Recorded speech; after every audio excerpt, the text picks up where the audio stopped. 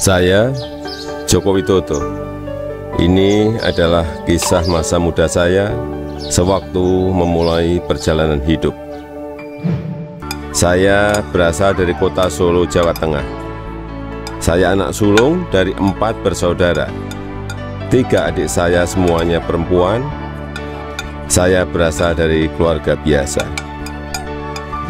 Kami berulang kali pindah rumah kontrakan rumah sederhana yang mampu dibayar Bapak untuk tempat tinggal kami sekeluarga.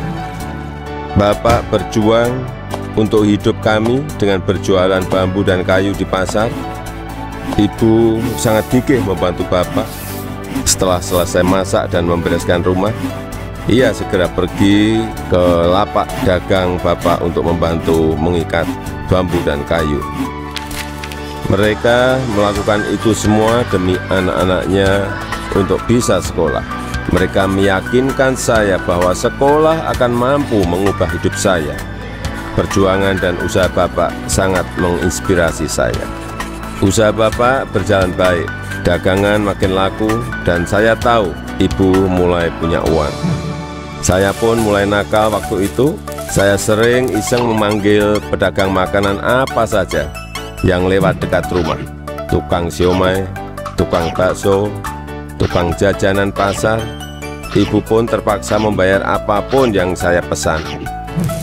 Suatu kali saya asal manggil saja, ada tukang lewat di depan rumah. Saya pikir jual kue pasar, ternyata tukang arang. Ibu muncul sebelum saya sempat berlari. Terpaksa ibu membelinya dan langsung menyodorkan bungkusan berisi arang untuk saya makan sambil berkata, Ayo makan, habisin ya, kamu kan yang kepingin jajan. Suatu hari, kami kena gusur pemerintah daerah karena daerah rumah kami akan dibangun fasilitas kota. Kami sekeluarga terusir begitu saja tanpa ada perhatian di mana kami akan tinggal. Kejadian ini membuat kami sekeluarga sangat terpukul. Kami terpaksa menumpang di rumah paman. Keadaan yang sulit membuat kami sekeluarga gigih berjuang lebih keras.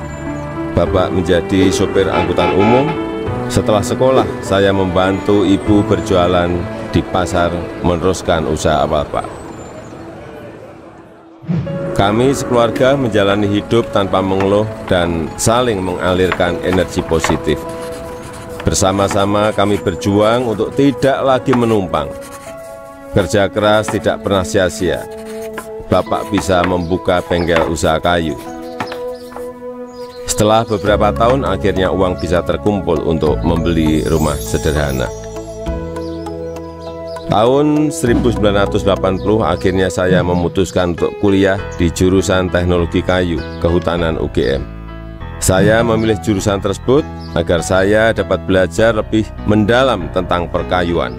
Saya ingin mengikuti sejak Bapak ingin membangun bisnis kayu Bapak menjadi besar. Ini saya gondrong waktu kuliah dan saya suka banget dengerin musik cadas dari Nazareth, Queen, Metallica, Judas Priest, Guns N' Roses.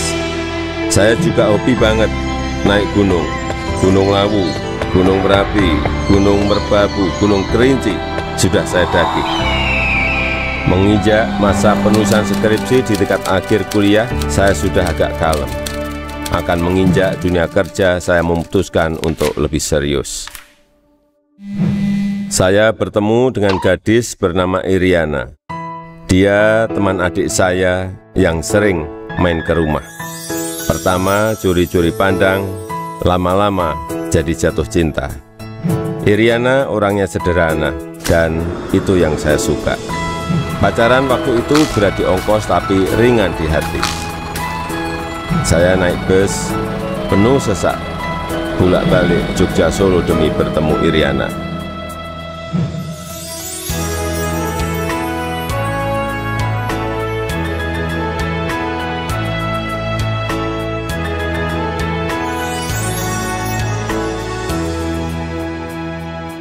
Lulus kuliah tahun 1985, saya melamar ke sebuah perusahaan kertas di Aceh.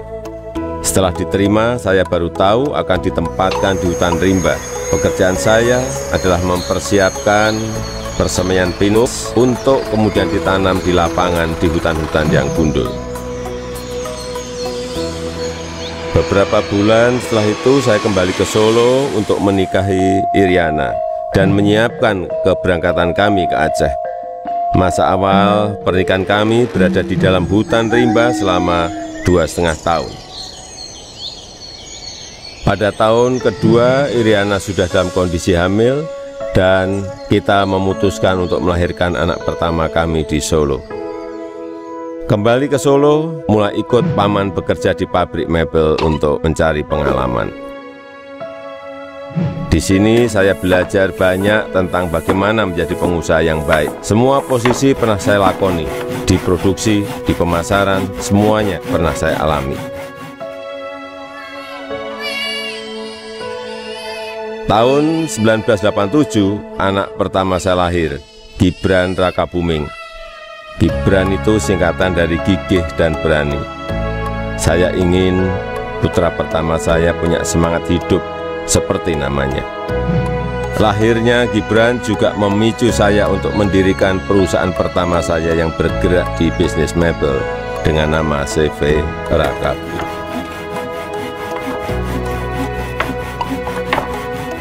Tapi ternyata menjadi pengusaha bukanlah sesuatu yang mudah. Saya pernah habis ditipu. Barang sudah dikirim tapi tidak dibayar.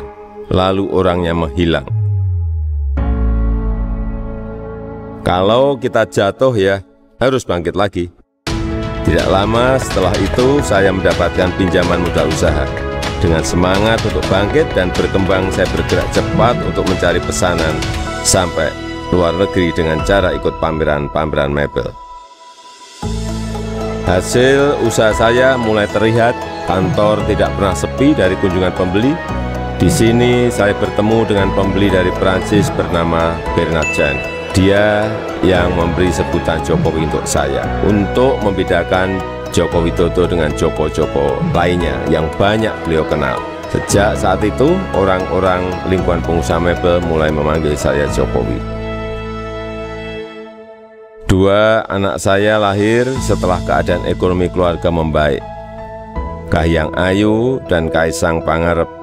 Saya ingin anak-anak saya mengenal sekolah kehidupan yang dilandasi perjuangan untuk mandiri, supaya mereka semua mampu membangun kehidupan yang kukuh.